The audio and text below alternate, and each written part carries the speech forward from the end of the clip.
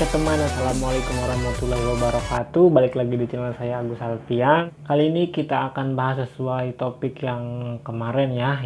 Kemarin kan kita udah bahas betina yang bertelur Yang anggrem tapi nggak kunjung isi, nggak kunjung netes.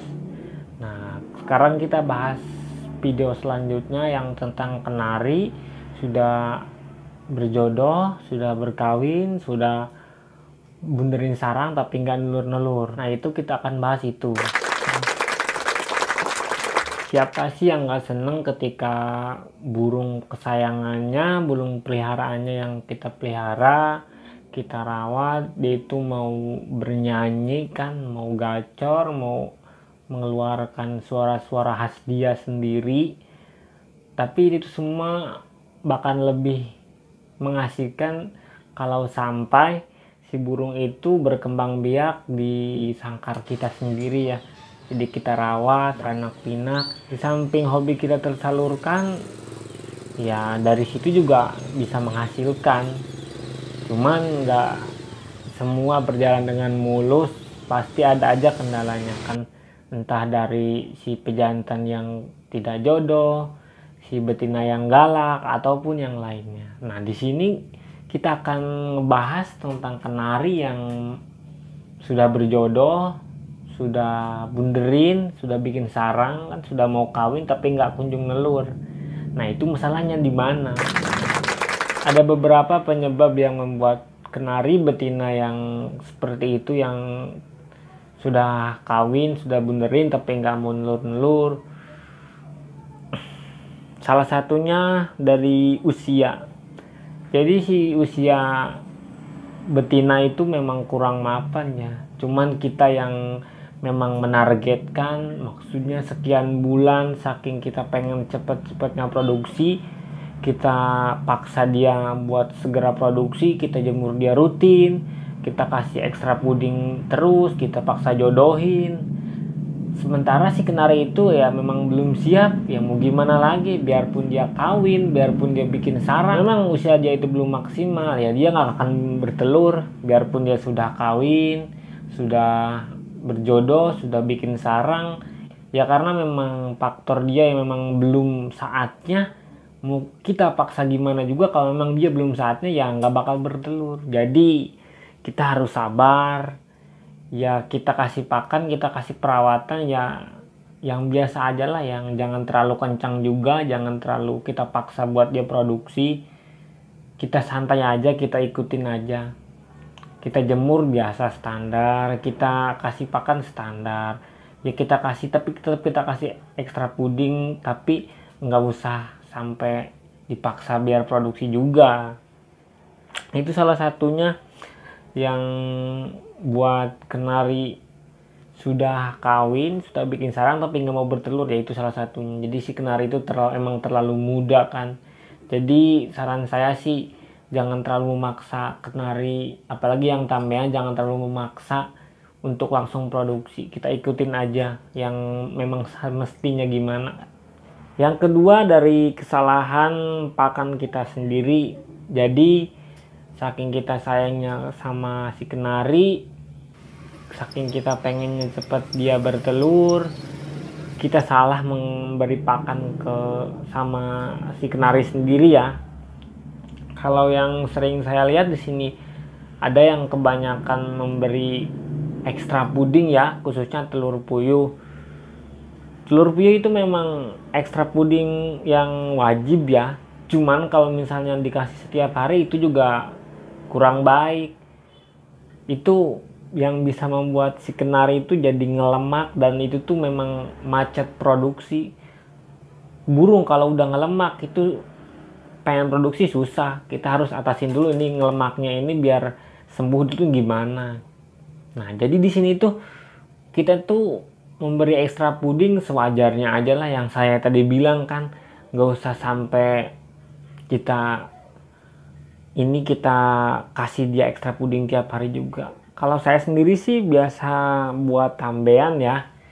Buat tambean kalau nggak buat Pak Udan yang ekstra puding telur puyuh khususnya. Itu tuh cukup satu minggu sekali sampai dua kali ya. Selebihnya saya tuh cuman pakai pakan racikan sama sayuran. Sayuran juga saya nggak setiap hari. Sayuran saya cuman mungkin bisa terhitung saya lebih sering pakai CD ya. Yang menurut saya tuh lebih praktis ya. Karena saya juga memang sibuk ada kesibukan lain di samping ngurusin kenari. Dari kesalahan pakan ini dari ekstra puding sama dari pakan terlalu kencang jadi biasa itu yang yang ngeracik pakan sendiri ya biasa ini yang khususnya yang buat ngeracik pakan sendiri ya. Jangan terlalu banyak nih gersit karena itu juga memang tidak baik. Itu tuh sifatnya panas untuk skenari memang skenari itu sangat suka sama nigersi tapi jangan terlalu banyak. Itu yang kedua. Untuk yang ketiga ini yang mungkin teman-teman juga udah banyak yang tahu ya untuk semua orang juga mungkin udah hampir lah. Jadi yang penyebab macet produksi atau ngasih kenari itu nggak bertelur biasa dari bulu pen ya. Dari bulu pen si betina ataupun si jantan itu tuh biasanya yang buat bulunya lebat. Kalau nggak bisa disebut tipe bulu yang bab kalau nggak yang bulu tebal biasa orang-orang kita bilang bulu tebal. Yang nutupin kloa atau enggak yang nutupin si kelamin si kelamin burung itu sendiri ya. Jadi itu biasa dialamin sama burung-burung yang bulunya tipe bulunya bab. Kalau nggak bulu tebal itu tuh biasa nutupin di pennya enggak itu si jantan ataupun si betina. Cara ngatasinya gimana? Ya itu tuh harus kita bersihkan harus kita gunting. Pokoknya kita buat biar si proses perkawinan itu gampang biar si sperma jantan itu gampang masuk ke kloa betina. Kita gunting ya kita gunting biar nggak nutup aja kita gunting perlahan kita rapikan kita pokoknya buat segampang mungkin biar si jantan itu gampang untuk membuahi si betina.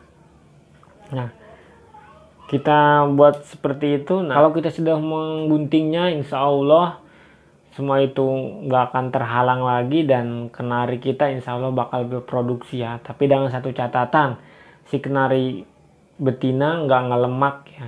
Makanya buat yang macet-macet produksi yang pertama poin pertama cek dulu usianya apa udah mapan apa emang udah siap apa belum. Kalau memang belum ya jangan terlalu dipaksa juga. Kita tungguin dulu sebentar. Ya kita sabar-sabar aja kan. Kita tunggu masanya yang pas kan baru kita jodohin.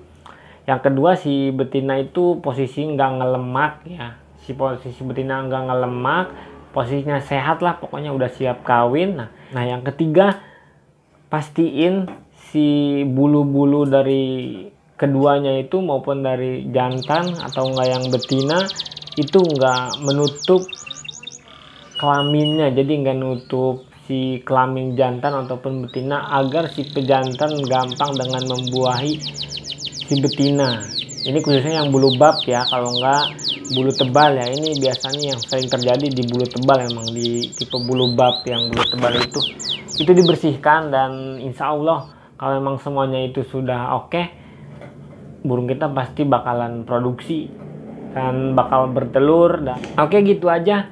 Sekian tips dari saya yang sama-sama pemula sama-sama belajar. Intinya jangan pernah nyerah kalau memang nemuin kegagalan karena kegagalan itu adalah suatu pelajaran yang paling berharga untuk kita sendiri ya. Jangan pernah nyerah di dunia perkenalian. Jadi kalau misalnya kita memang gagal sekali udahlah katanya nggak usah.